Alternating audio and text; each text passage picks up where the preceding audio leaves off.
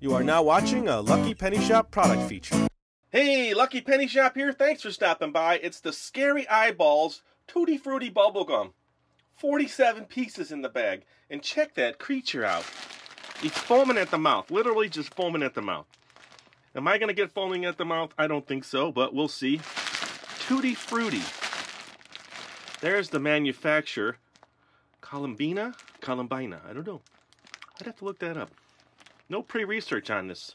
Gum can be slippery and cause choking. Well, that's a good warning. Let's open it up. Character looks pretty cool on there. Let's spill some out. It's always neat to see the colors, you know?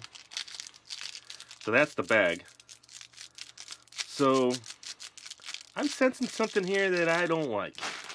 Scary eyeballs. Hmm, really? Looks like a white gumball to me.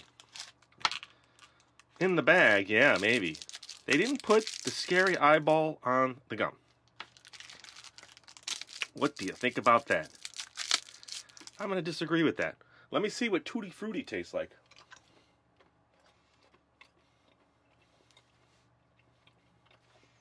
Now, you look at this, and you think it is pretty cool. Like you're going to get a gumball with an eye on it. Tutti Frutti. Hmm. I'm going to tell you. Well, I'm not foaming at the mouth like he was. I can't really pinpoint Tutti Frutti.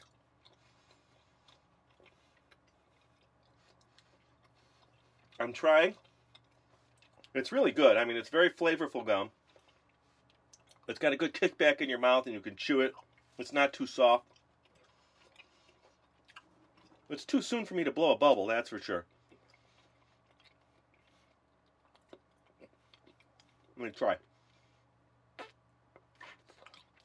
Yeah, that's good for the early stage. You can blow a little bubble. So overall, let me hear what you think below on the comments there. I really thought I was going to have a piece of gum with an eye on it. And check that description. We always put a playlist there or search our channel. It's really appreciated. Hmm. It should be Scary Eyeball Packaging. Bubblegum. Yeah, that's better. And thanks for watching. Later. This video is now over. If you want to see more videos in this series, check the description, search the channel, or click here. And always remember, if you see a lucky penny, pick it up.